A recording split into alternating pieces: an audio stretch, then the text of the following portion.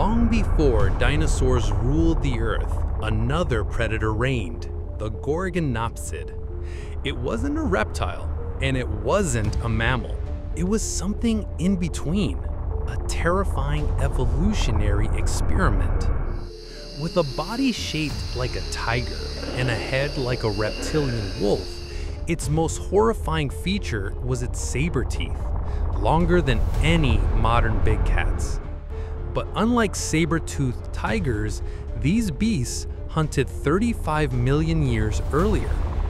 Most people don't know this. Gorgonopsids were among the first animals to show traits of warm-blooded predators, making them faster and deadlier than reptiles of their age.